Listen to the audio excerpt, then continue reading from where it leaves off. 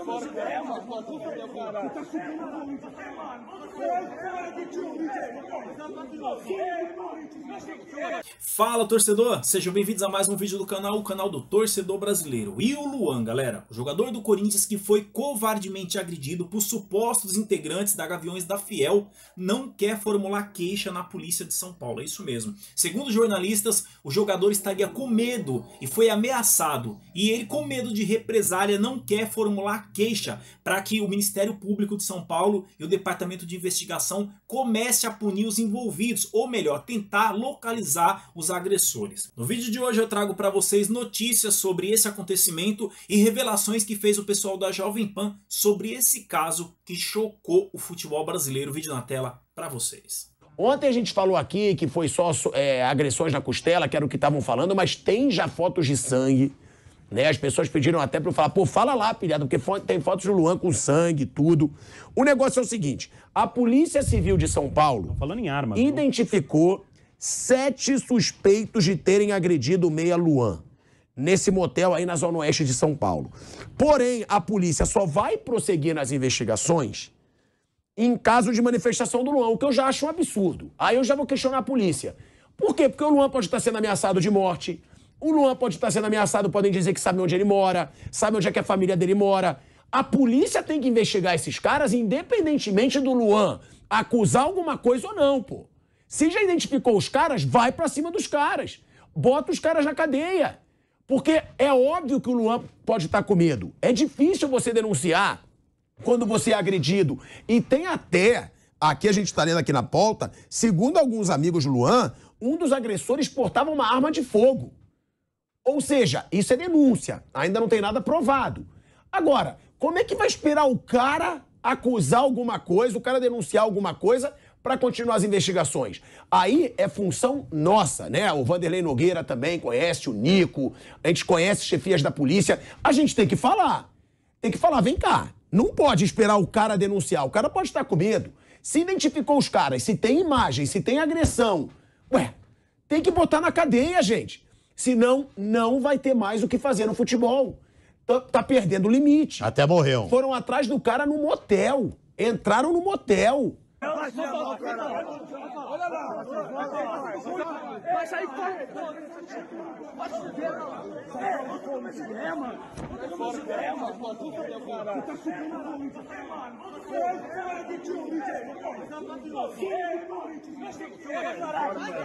Eu tô aqui. Caralho. Gaviões, caralho! É o Gaviões, caralho! É o Gaviões! Aqui não é brincadeira não, xará! Vambora! Vambora, tio, vambora! Olha lá! Vai sair! Fora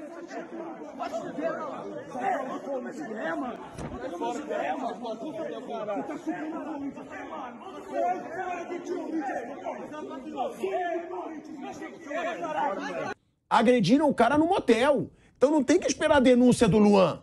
Não! A polícia tem que fazer a parte dela. Identificou? Tá comprovado nenhum crime de invasão de propriedade, de agressão?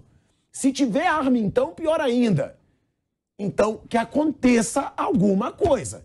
Que a polícia não me venha com esse discurso. Eu sempre apoio a polícia aqui. Eu digo que a polícia prende, depois a justiça solta.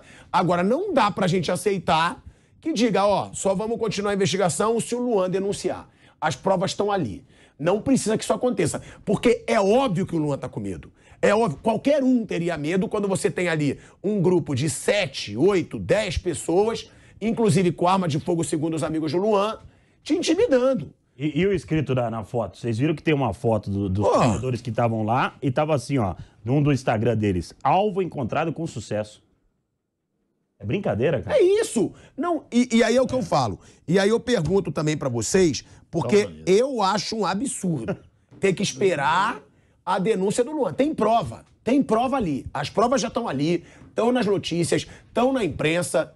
É, conheço delegados aqui em São Paulo também, vou falar com delegados aqui de São Paulo também, porque a polícia precisa fazer. O Luan não vai. O Luan tá com medo. Os caras sabem onde ele treina, os caras sabem onde ele mora, Os caras sabem tudo da vida dele. É óbvio que ele não vai fazer nada. É isso aí, torcedor. A que ponto que as coisas chegaram, né? Concordo com o pessoal da Jovem Pan. Isso já é uma tragédia anunciada, tá? Tá chegando ao ponto que daqui a pouco ninguém vai mais poder falar nada. O jogador vai apanhar, é, comentaristas vão apanhar, juízes vão apanhar. O futebol ele tá deixando de ser futebol, ele tá deixando de ser algo que foi feito, que foi criado, que existe para proporcionar alegria. Tá se tornando algo assim onde a criminalidade está passando a comandar e imperar entre os torcedores de bem. Quero saber a opinião de vocês, comenta aqui embaixo, deixa aqui a sua opinião. Gostou do vídeo? Se inscreve no canal, fala o que você acha sobre tudo isso. Eu sou totalmente contra a agressão, isso não pode existir, tem que ser banido do futebol. Mas eu quero saber a sua opinião, comenta aqui embaixo até o próximo vídeo. Fui!